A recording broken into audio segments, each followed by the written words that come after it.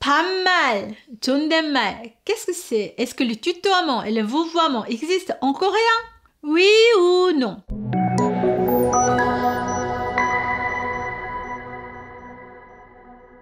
Pas mal, ça correspond au tutoiement, c'est-à-dire que c'est une phrase plus courte et plus simple, sans expression respectueuse. 존댓말, 존대 c'est respect. Donc 존댓말, ça correspond un peu au vouvoiement formel, décontracté poli et style honorifique. Alors, quand on peut utiliser pas mal et les trois 존댓말 différents. Selon le niveau de politesse de la coréen, il y a six niveaux. Vous n'avez pas besoin d'apprendre tout. Tout simplement, il faut quand même distinguer les quatre niveaux que je vous en parlais. Première, le style honorifique.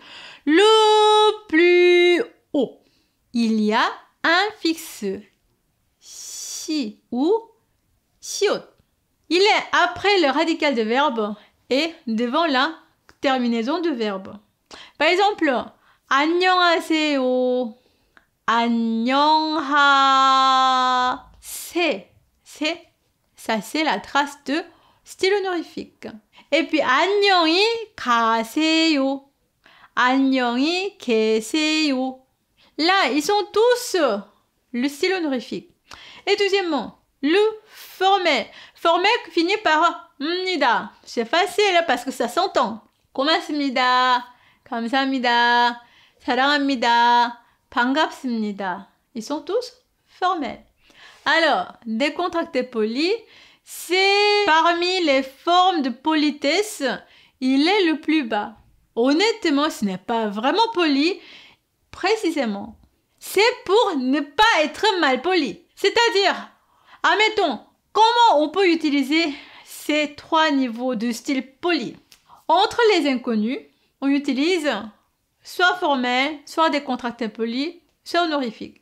Si on doit respecter un peu plus, par exemple, si je parle à mon patron, à mes parents ou surtout aux parents de mes amis ou à mon supérieur, là il faut utiliser honorifique ou formel. Décontracté poli, oui ou non. C'est un peu délicat. C'est pour ça il faut bien travailler. Par exemple, il y a un style formel et 고마워요 décontracté poli. Mais ça n'existe pas le style honorifique dans 고맙습니다. Admettons, tu es le patron d'une entreprise. Tu entres dans un bâtiment, ton assistant ouvre la porte. Dans ce cas-là, tu peux dire à l'assistant 고마워요 plutôt que 고맙습니다. Par contre, si tu es tombé par terre, si quelqu'un t'aide pour te relever, tu peux dire 고맙습니다 entre les inconnus. Si tu es vraiment, vraiment très âgé, c'est plus de 70 euh, ans, là, tu peux dire à la personne qui est beaucoup plus jeune, tu peux dire komawayo.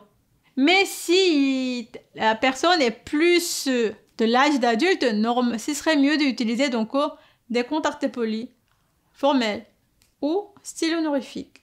Et puis, si les décontractés polis est composé avec euh, le style honorifique, ça, c'est 100% poli.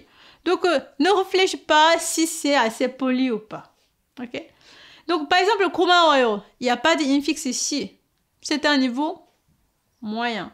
Kumapsinida, c'est fini par formel, donc oh, sur mon poli. Si yo, ça finit par yo, des contacts impolis, mais il y a un, un fixe si Donc oh, c'est tellement poli, sans discussion. Alors quand on utilise pas mal le tutoiement, là c'est réservé uniquement entre amis, surtout du même âge. Et puis, dans une famille, on peut utiliser aussi pas mal. Par exemple, mes parents utilisent le pas mal avec moi. Et moi, pareillement à maman, mais pas avec papa. Mon papa, il exige que je utilise le mal avec lui. Donc, ça dépend de la de famille et de la relation. Donc, avant d'utiliser le pas mal, il faut surtout avec l'accord de ton interlocuteur. il faut avoir l'accord pour utiliser le mal. Et fais attention, quelquefois, ça ne suffit pas de changer la terminaison pour parler plus poliment. Quelquefois, le mot change complètement. Surtout fais attention les quatre verbes. Mokta, chada, ita, 죽다. 먹다, 드시다. 자다, 주무시다. 있다, 계시다. 죽다, 돌아가시다. Regardons ensemble des phrases pour mieux comprendre. Je parle à deux choses, à un chat et à mamie. Bon appétit à mon chat. 고양아, 잘 먹어. 고양아, 잘 먹어. 아, 마미, 할머니, 맛있게 드세요. 할머니, 마미, 맛있게 드세요. Les deux sont bon appétit, mais je parle différemment. J'utilise différents verbes parce que 드세요, c'est le style honorifique de morta. Deuxièmement, le verbe 자다, dormir. Un chat dort. 고양이가 자요. 고양이가 자요. Une mamie, ma mamie, sinon une mamie. 할머니가 주무세요. Mamie dort. 주무시다 est le style honorifique de 자다. Tu vois? Troisième verbe, 있다, rester ou il y a. Ou on peut utiliser pour avoir aussi. Bon, admettons. Il y a un chat à la maison. 집에 고양이가 있어요. Sinon, j'ai un chat à la maison, pareil. 집에 고양이가 있어요. Et mamie, mamie est à la maison. 집에 할머니가 계세요. 집에 할머니가 계세요.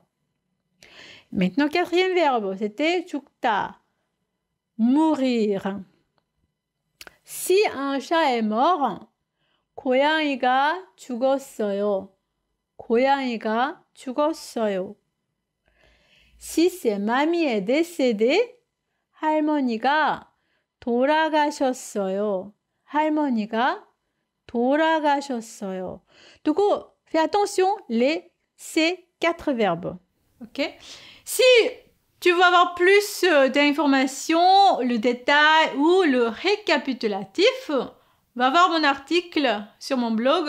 Le lien, il est en bas de cette vidéo. On se retrouve dans la prochaine vidéo. 안녕히 계세요.